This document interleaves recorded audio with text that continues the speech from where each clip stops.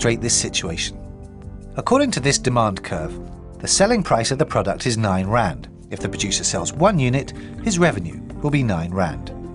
If he sells 100 units, his revenue will be 900 Rand. 200 units, well 1,800 Rand, and so on.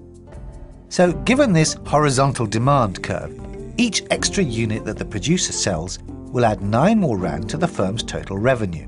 In other words, the marginal revenue of the firm is 9 Rand. Now, what's the firm's average revenue? If the total revenue is 900, 900 divided by the 100 units sold, it equals 9 Rand. At a total revenue of 1,800 Rand, the average revenue is 1,800 divided by 200 units, which also equals 9 Rand. So it doesn't matter what quantity is sold. The selling price, the average revenue, and the marginal revenue of the firm are all the same. This is an important conclusion of the perfect competition assumption. We can show it like this. Price equals average revenue, which equals marginal revenue. Okay,